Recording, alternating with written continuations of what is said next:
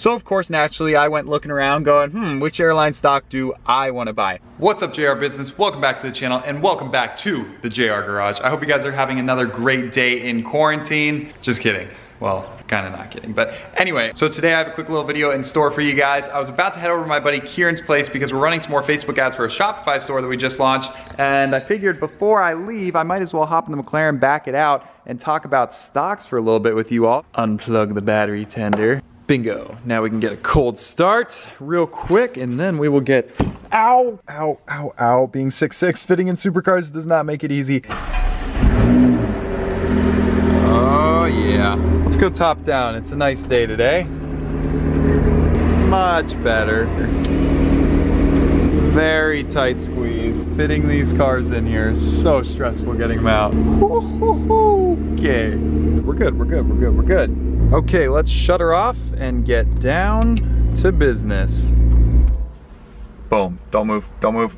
Okay, we're good. All right, as long as nothing shakes, we're good. My tripod's broken, so I have it precariously mounted on top of the air vent. Anyway, so busy day today. Man, whenever I have a busy week and I think I'll be able to like catch up on videos the next week, it always gets busier and busier and busier. And especially now, like I mentioned in the intro, we launched a new Shopify store and it is doing far better than I could have imagined. Kieran is crushing it with the ads. He definitely knows his stuff when it comes to Facebook ads. You should check out his channel if you haven't seen it already. But anyway, I think everyone is aware of the current current economic climate, and especially with this virus going around that I cannot name in fears of being demonetized worldwide, it is wreaking havoc on the economies of so many countries out there, and it is probably affecting everyone on planet Earth in one way or another. And a lot of people here in the US are affected given the stock market is down quite a bit as we all know. We've, we've all seen the headlines in the news. There is so much activity going on in the stock market right now, huge swings up and down. It is pretty wild. Many investors look at a time like this and see so much opportunity, whereas most people probably like the comfort of their investment going up 6% or whatever, just nice steady increases. They don't like the huge, and there's a plane. If you didn't see yet on our aviation channel, we bought a plane, we bought a Cirrus, that was actually a Cirrus, so looked just like our plane. So check that out. We bought a plane for training to work toward our private pilot's license. So that's super exciting. Watch the reveal. We flew it a thousand miles home with our buddy Owen. Um, so anyway, side note, planes, cool. Yeah, back to the point at hand. So some investors look at a time like this and see so much opportunity. They love these big swings up and down, people shorting the market, people day trading some of these stocks. I mean, there's a lot of money being made right now despite the amount of money being lost, if that makes sense. So as you know, I'm not huge into stocks. I've done stock videos before. I've traded stocks before. I've made money in the stock market before. But at the end of the day, it's really stressful. I'm the kind of guy who like refreshes all the time and like sees what the market's at. and like, oh, should I sell? Should I get out? Like, I have to take a chill pill about it. I've been better about it, uh, especially when Christian and I were buying Tesla stock. We loaded up on Tesla stock at 220 a share. I'll throw up the screenshot somewhere, somewhere in the twos. So obviously we've been doing very well on that stock. And Tesla's one that we are definitely long in. We are holding that thing for a long time. We see a lot of potential. We love Tesla. We have a bunch of Teslas. It's a great company in our opinion. Even when it got up to about a thousand dollars, we were like, oh gosh, do we sell? We talked about it for a while, like, oh, that seems really high. Like we're in at 200 something bucks. This is a ginormous profit, but I'm pretty sure we held on to every share just because that was the mindset going into it. And it's very important to like kind of make up your mind, or at least try to when you're buying a stock, when you're gonna exit, at what price if it hits up here, at what price if it goes down, are you gonna cut your losses, and are you gonna hold it for a certain period of time? So with Tesla stock, we said we're going long, we're gonna hold it and hold on for long term. So of course it's down now a little bit, still way above what we're in it at. Ah, oh, geez, another plane. So like I was saying, lately we've been putting a lot more time and energy into the stock market, keeping an eye on things due to all this activity and all of this opportunity to get in while these stocks are dirt cheap. And another big reason we've been trading more stocks lately is because we recently signed up for this trading platform called Webull. You guys have probably heard of them. Super easy to use brokerage with no fees. They have a great mobile app that I've been trading on quite a bit the past couple weeks,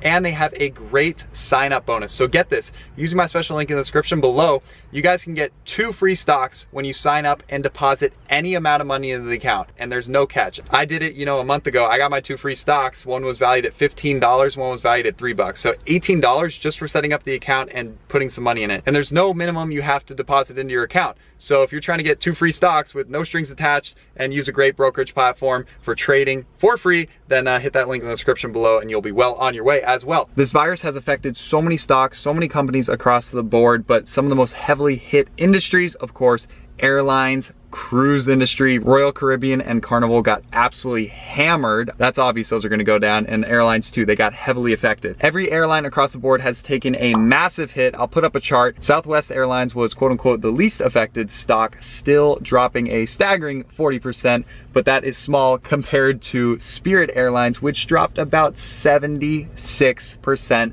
from numbers just a couple weeks before. If you aren't too familiar with the stock market, let me emphasize these market cap losses. Companies losing billions, tens of billions, hundreds of billions of dollars off their market cap in some cases is staggering, and these airlines were greatly affected. So of course, naturally, I went looking around going, hmm, which airline stock do I want to buy? If you guys didn't see the headlines already, Warren Buffett made some ginormous purchases when the airline stocks started to dip a little bit. Warren Buffett, Berkshire Hathaway is heavily invested in these airline stocks, so when everything kind of took a dump, they uh, they definitely lost a lot of money. But again, they didn't sell anything. They ended up buying more stock. They took it as a buying opportunity because they are playing the long-term game. Delta was trading in the upper 50s before all the news broke out. Then it dipped into the 40s. And at that point, Warren Buffett picked up another nearly 1 million shares at I think $46 and change each. So that was Warren saying, hey, it's time to add more stock. He didn't quite call that one 100% right, most would say, because it continued to drop day after day after that. And personally, when I saw that he bought those shares and people were starting to say, hey, look at airline stocks and stuff, I was like, okay, they've dropped like 20% or whatever this is. I'm like, I think they have a lot more room to go. So I strategically did not buy anything and I was waiting until they dropped lower and lower they dropped. So from the 40s, Delta went into the 30s and then into the 20s. And that's when I really started to wake up and said, okay, okay, now's the time to shine. I actually did buy some Delta at about $22 a share or something. Um, but I was more interested in some other stocks. I was originally eyeing like American Airlines and I'm like, they've taken a pretty big hit. Like that sounds like a good one. But then I did a little more digging and I came across Spirit Spirit Airlines, which we all know, and I mentioned there just a minute ago, they were the most heavily affected market cap wise, losing nearly 80% of their value. So at that price, I definitely thought it was a good play. I'm gonna go ahead and pull up what I ended up buying those shares at. So I'll just pull up the Webull app just like that.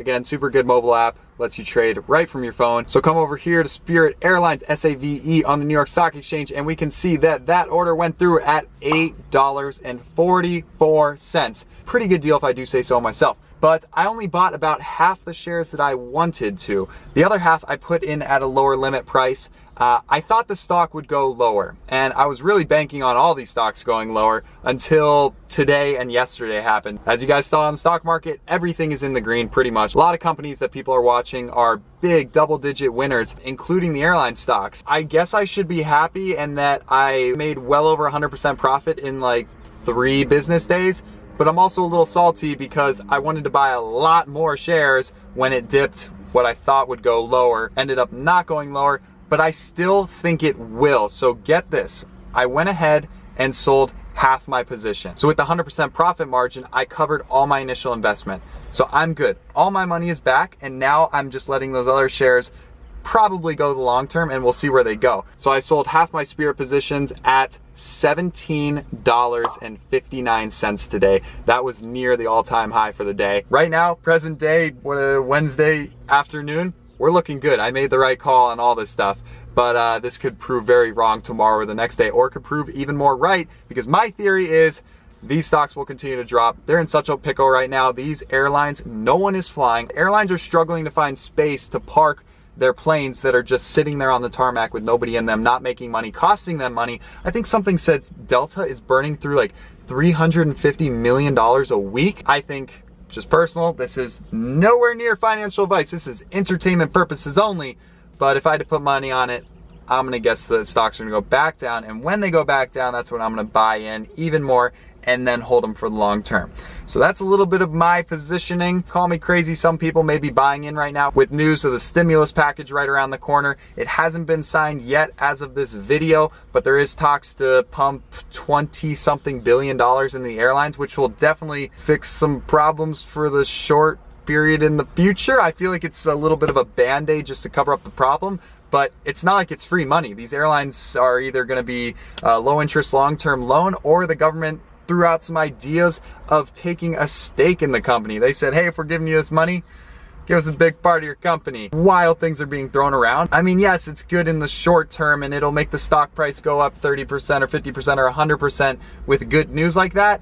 But again, I think it's a short-term fix. And I think in the very near future, especially when things get even worse, in my opinion, unfortunately, I don't think we're at the worst of this yet in the US, which is sad and horrible. But I think as the whole airline industry continues to deteriorate and be hit with all these curveballs and horrible things happening, despite the little bit of good news and stimulus and this and that, I still think it's it's prices are gonna drop. Again, just my opinion. So if it does drop, I will be ready. It could drop below what it was at just a few days ago or last week at $7 and something cents. He's just a Spirit Airlines I'm talking about. You know, now it's back up into the 17s. It could go back lower than it was in which case I would be very ready to buy a bunch of shares. You know, maybe it won't. Maybe it'll keep going up. That's the thing. You never know about the stock market. And that's the thing that makes it so stressful and it just always keeps you on your toes that's for sure. I'm certainly enjoying some of these profits. Again i took a nice profit to, or yesterday what the heck whenever did i sell? Yesterday. Yes yeah yeah 20 what the heck? Today junior?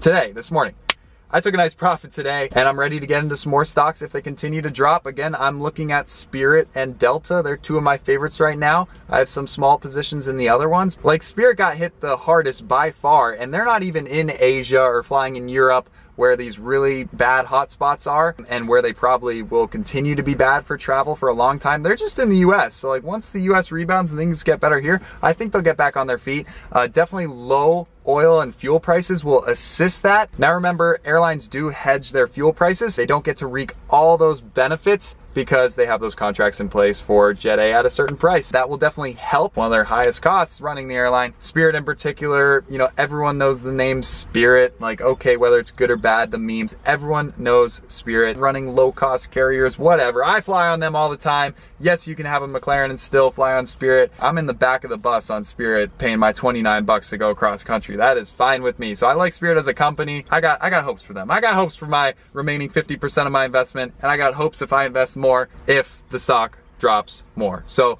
that's my theory a little bit. Hundreds of people have been asking if I've been investing in the stock market and what stocks I've been buying. So I wanted to make this video to address some of that. And people were also wondering like, oh, like, is your business still doing okay? Like, are you super affected? And it's like, at the end of the day, I'm actually making more money right now than a month ago by far, especially with this new Shopify store like I was talking about. We have been crushing it. So as you guys know, we sell a lot of old collectibles online and guess what? A lot of people are home right now on their computer, on Facebook, which also means they're seeing my ads to buy stuff. And yes, a lot of people are tight on cash right now. So most people would say, oh, it's a bad time to go advertising stuff. People aren't buying, they're hoarding their money, da da da da. Well, it just so happens my industry is heavily involved in gold, silver, bullion, investments like that. So when people are getting their money out of stocks, when people are not trusting what's going on in the government and they want to buy gold and silver, who do they turn to? Oh, so that's definitely really nice. I'm really happy we've been able to increase sales when most people are decreasing in sales. Same is true in 2009, 2010. Like we started this business, 2009 was our first full year. That was going right into the worst recession that we've had in a long time in this country. Yet year over year, we've been able to increase sales. 09 at 10 years old, 12 years old, we pulled in like $35,000. The next year, guess what? 72,000. The next year, over 100,000. The next year, a quarter of a million. So as the economy gets worse and worse and worse, we we're able to make more and more money. So I will leave you with the quote by Warren Buffett. Be fearful when others are greedy and be greedy when others are fearful. So just know your stuff, study a lot, do your research, do your homework, and know that sometimes the worst times can make for the best times. So keep that in mind. I hope you all are doing well. Again, be sure to hit the link in the description below if you're looking to sign up for Webull and get two free stocks, nearly 20 bucks just for making a free account. I would highly recommend it, so be sure to hit the link in the description below, and I hope you guys enjoyed this video. Oh, and by the way, I forgot to pick the free random silver winner from last video, so I'll go ahead and insert that random comment right here. Congratulations, just shoot me a DM on Instagram, send me an email, and we'll ship you out that one ounce silver round. I think that will do it for today. It's getting dark. We got another beautiful sunset here in Arizona. So I will leave you with that. Subscribe if you guys are new and drop a comment down below if you have been investing in stocks or maybe had some big wins. I'd love to hear them in the comment section down below. You guys rock. signing off from Arizona, signing off from the McLaren MP412C. We will see you in the next one. Peace.